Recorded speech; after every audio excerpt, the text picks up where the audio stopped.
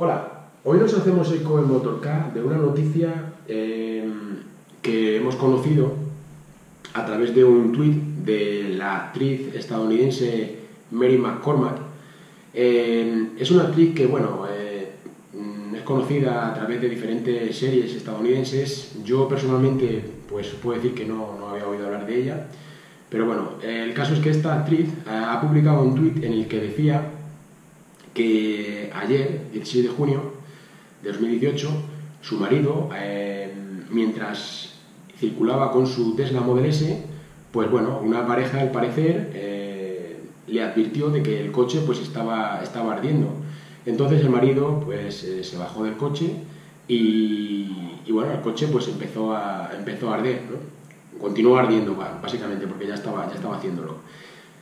Em, nada, ella en, su tweet lo que hace es, pues bueno, por un lado, mm, pues eh, intenta también un poco de tener, que tenga relevancia, sobre todo cara a Tesla, y, bueno, agradece el hecho de que, primero, por, este, por un lado, esta pareja le advirtiera al marido de que, de que tenía un fuego dentro del, dentro del vehículo, bueno, por debajo, en la parte, en la parte inferior, sobre todo del vehículo, sería de las baterías, y luego, por otro lado, eh, pues nada, eh, agradecer también que, sus, que, ninguno de sus tres hijos viajaba con él en el, en el vehículo. Eh, el Tesla es un Model S, mm, no, no, se, no se especifica, no, no he podido encontrar todavía qué tipo de, de, Model S es, pero bueno, básicamente la pregunta y la preocupación también que queremos trasladar en cierta medida es por qué continuamente estamos viendo porque estamos viendo vídeos, ¿vale?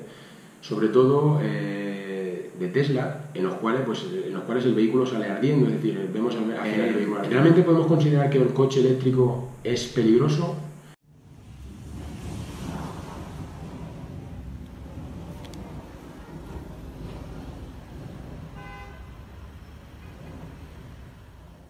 Pues en concreto el Tesla el que es peligroso, eh, a ver, el fuego, lo que os digo, en este caso ha dado tiempo, no ha habido ningún problema y ha podido, y ha podido salir sin ningún, sin ningún problema. La preocupación es, pero como os digo, si te ocurre esto, porque el vehículo iba, iba circulando, como decía ella en su, en su tweet, decía que, que, no había ocurrido ningún accidente, que no había nada fuera de lo normal en el, en el, en el coche, todo funcionaba bastante, bastante bien.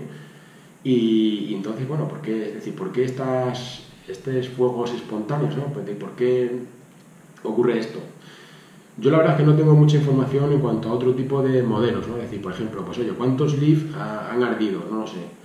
Em, a fin de cuentas, sin haber, sin haber ningún tipo de sin haber ningún tipo de accidente y demás, pues bueno, es un poco más preocupante en ese sentido, ¿no? Vale, pues nada, eh, simplemente quería compartirlo con vosotros y nada, que os dejéis, que dejéis vuestros comentarios.